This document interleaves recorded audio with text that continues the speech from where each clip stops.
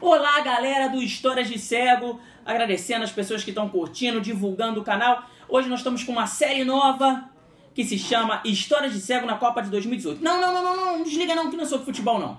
A gente vai para a Rússia visitar a Rússia de um modo diferente, até porque a gente não vai visitar. A Rússia vem até a gente. E aqui estou com essas convidadas. Não, não foi você que bebeu vodka demais, são duas mesmo. Duas catedrais de São Basílio.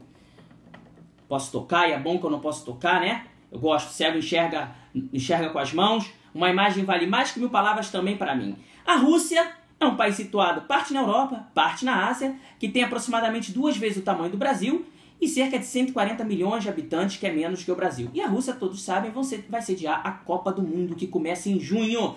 E cada mês agora nós vamos fazer um vídeo sobre a Rússia, sua história, sua cultura, histórias de cego na Copa 2018, que é o mundo na ponta dos dedos com uma grife. E hoje estamos em parceria com o Mundo Afora Souvenirs, site que você encontra todas as miniaturas, imãs geladeiras e demais souvenirs daquela viagem que você fez e daquela viagem que você não fez. E hoje nós vamos começar falando de Moscou. Moscou, a capital da Rússia, a maior cidade da Europa em termos de população, e vamos nos transportar à Praça Vermelha. Finge que aqui é a Praça Vermelha, aqui na verdade é o vidro da minha mesa, e vocês vão encontrar na Praça Vermelha uma Catedral de São Basílio. Eu botei duas aqui porque elas são diferentes, porque eu gosto de, de, de tocar, então já que eu tenho duas mãos, duas miniaturas. A Catedral de São Basílio é o monumento mais conhecido de Moscou, fica na parte sudeste da Praça Vermelha, do lado do Kremlin, famoso internacionalmente. O conjunto da Praça Vermelha é patrimônio histórico da humanidade desde a década de 1990 é, pela Unesco e o motivo a gente pode entender facilmente a importância histórica e arquitetônica dessas duas belezas que, que são as torres né, da Catedral de São Basílio.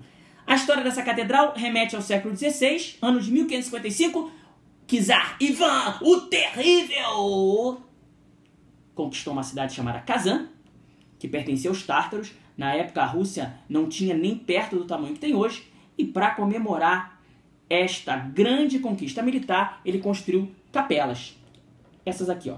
Cada torrezinha dessa, espero que esteja para filmar sem, sem minha mão chegar em cima, é um, está em cima de uma capela. Cada capela foi construída no dia em homenagem a um santo do dia em que o Ivan conseguiu a vitória nas batalhas. São ao todo nove capelas. Uma, duas, três, perdi a conta, quatro, cinco, enfim, dá nove. Umas menores, outras maiores. Seria inicialmente igrejas separadas, mas depois foi construída a Torre do Relógio, essa aqui grandona, ela unificou todas as outras torres e a catedral passou a se chamar São Basílio, quando uma última torre lateral foi construída justamente no túmulo do São Basílio. E essa ficou sendo a catedral em homenagem à conquista da cidade de Kazan, uma das maiores vitórias militares que proporcionou ao czar Ivan terrível expandir o território para a Rússia que nós conhecemos hoje em dia. Esta catedral dizem aí, né, que tem um formato de um fogo indo para os céus. Eu não sei se é meio forçação de barra. Para mim, o fogo de uma fogueira indo para o céu. Não sei se será que é assim, nunca vi. Mas o, o que importa é que eu posso tocar. E o que, que ela tem a ver com a gente? Primeiro, que fica na Rússia. E depois, porque diz a lenda que o Ivan o Terrível ficou tão satisfeito com o monumento, com a arquitetura, que para evitar que o arquiteto fizesse outra obra igual, ele deixou o arquiteto cego.